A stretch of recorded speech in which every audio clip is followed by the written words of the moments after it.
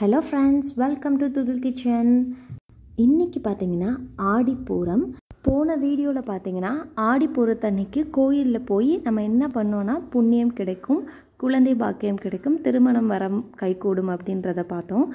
இந்த பதிவில் பார்த்தீங்கன்னா ஆடிப்பூரத்தன்று வீட்டிலேயே அம்மனை வந்து எப்படி கும்பிடணும் அம்மனுக்கு வந்து எப்படிலாம் பூஜை பண்ணணும் அப்படின்றது தான் இந்த வீடியோவில் பார்க்க போகிறோம் இப்போ நம்ம வீடியோக்குள்ளே போகிறதுக்கு முன்னாடி நம்ம துகில் கிச்சன் சேனலில் இப்போ தான் ஃபர்ஸ்ட் டைம் பார்க்குறீங்கன்னா நம்ம சேனலை சப்ஸ்கிரைப் பண்ணாதவங்க சப்ஸ்கிரைப் பண்ணி பக்கத்தில் இருக்க பெல் ஐக்கானை ப்ரெஸ் பண்ணி மேலே இருக்க ஆல் பட்டனை ப்ரெஸ் பண்ணுங்கள் வாங்க நம்ம இப்போ வீடியோக்குள்ளே போகலாம் பெண்மை என்னும் சக்திக்கு பெருமை சேர்க்கும் மாதம் ஆடி மாதம்.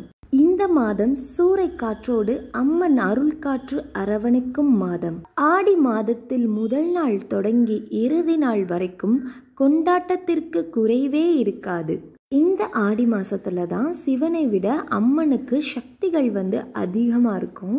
பார்வதியோட தவத்தை மெச்சிய சிவபெருமான் வந்து ஆடி மாதம் முழுவதும் அம்மன் மாதமாக இருக்கணும் சொல்லி வரத்தை கொடுத்திருக்காரு.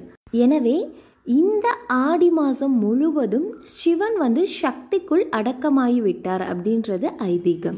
மழைக்கால துவக்கமான இந்த ஆடியில் நல்ல மழை வேண்டியும் உடல் நலம் பெறுவதற்கும் நோய்கள் பரவாமல் இருப்பதற்கும் நம் முன்னோர்கள் வந்து ஆடி மாதத்துல அம்மனை வழிபட்டுக்கிட்டு வந்தாங்க. அம்மன் பிறந்த நாள் தான் இந்த ஆடிப்பூரம். இந்த ஆடிப்பூரம் வந்து அம்மனுக்குரிய ஒரு விசேஷமான நாள். இந்த ஆடிப்பூரத்தன்னைக்கு தான் உமாதேவி பிறந்திருக்காங்க.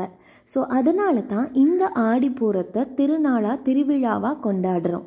உலக மக்கள் எல்லாத்தையுமே காப்பதற்காக அம்மன் வந்து சக்தியாக உருவெடுத்தனால்தான் தான் இந்த ஆடிப்பூரம்.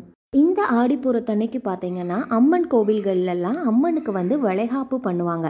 இந்த வளைகாப்பு பற்றின வீடியோக்கள் வந்து நான் போன பதிவுலேயே போட்டிருந்தேன். அம்மனுக்கு வந்து வளைகாப்பு நடக்கும்போது நம்ம அம்மனுக்கு வந்து நம்ம சார்பில் அம்மனை எப்படி குளிர வைக்கலான்றதையும் அந்த பதிவில் நான் போட்டிருக்கேன். ஸோ குழந்தை பேர் இல்லாதவங்க திருமணம் ஆகாதவங்க இந்த ஆடிப்பூரத்தன்னைக்கு என்னென்ன செய்யணும் அப்படின்றதையும் நான் அந்த பதிவில் போட்டிருக்கேன். கீழே டிஸ்கிரிப்ஷன் பாக்ஸில் லிங்க் இருக்குது ஸோ மறக்காமல் போய் பாருங்கள் தாய்மை என்பது பெண்களுக்குரிய ஒரு தனி சிறப்புனை சொல்லலாம். தன்னுள்ளே உயிர் வளர்த்து உதிரத்தால் பால் கொடுக்க ஒரு தாயால் மட்டுமே முடியும். கருவுற்ற கர்ப்பிணி பெண்களுக்கு அஞ்சாம் மாசத்துல வளகாப்பு பண்ணுவாங்க. பங்குனி உத்திரத்தன்று நம்மோட இறைவனுக்கும் இறைவிக்கும் திருமணம் நடந்ததை தொடர்ந்து அம்மனுக்கு வளைகாப்பு செய்வது மரபு. இந்த ஆடிப்புறத்தன்னைக்கு தான் அம்மனுக்கு வந்து வளையல் அணிவித்து இந்த தினத்தை வந்து வளைகாப்பு தினமாக கொண்டாடுறோம். கோவில்களில் பார்த்தீங்கன்னா அம்மனுக்கு இன்னைக்கு வளைகாப்பு பண்ணுவாங்க. ஆடி பூரத்துக்கு மறுநாள் பார்த்தீங்கன்னா அந்த வளையலை வந்து பிரித்து குழந்தை இல்லாதவங்களுக்கோ திருமணம் ஆகாதவங்களுக்கோ கொடுத்தாங்க அப்படின்னா அவங்க வந்து குழந்தை இல்லாதவங்க திருமணம் ஆகாதவங்க வந்து அந்த வளையலை வாங்கி தினமும் கையில் போட்டுட்டு வந்தாங்க அப்படின்னா குழந்தை இல்லாதவர்களுக்கு குழந்தை பாக்கியம் கிடைக்கும் திருமணம் ஆகாதவர்களுக்கு திருமண பாக்கியம் சீக்கிரம் கைகூடும். அடுத்ததாக ஆடிப்பூரத்தன்னைக்கு வீட்டிலேயே அம்மனை எப்படி வழிபடலாம் அப்படின்றது தான் பார்க்க போகிறோம் இந்த பதிவில் இந்த ஃபோட்டோவில் காட்டியிருக்கிறது மாதிரியேவும் வீட்டில் ஒரு அம்மன் படம் இருந்தால் அந்த அம்மன் படத்தை எடுத்து அந்த அம்மன் படத்துக்கு திலகமிட்டு அந்த அம்மன் படத்துக்கு நல்ல வாசனை மலர்களை போட்டு தாலி கயிறு எடுத்துக்கிட்டு கண்ணாடி வளைகள்கள் வாங்கி வச்சு அதை ரெண்டு ரெண்டாக அந்த தாலி கயிறில் வச்சு கட்டி அந்த அம்மனுக்கு மாலையாக போட்டு வீட்டில் பூஜை செய்யணும்.